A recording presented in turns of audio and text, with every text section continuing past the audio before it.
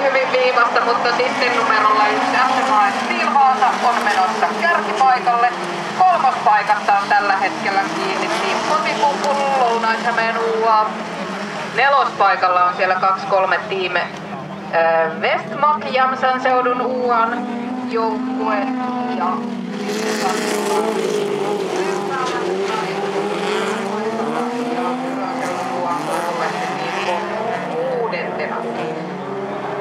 Hallitseva liikamestari numerolla yksi ja E-tunnuksella siellä ajaa Manu Juhola lähtee toiselle ratakierrokselle kärjessä. Kakkospaikalla on tiime Metsäpellon Mansikat.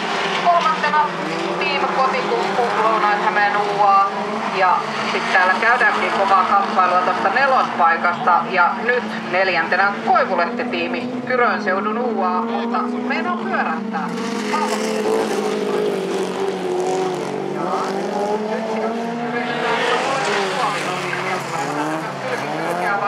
ajelua.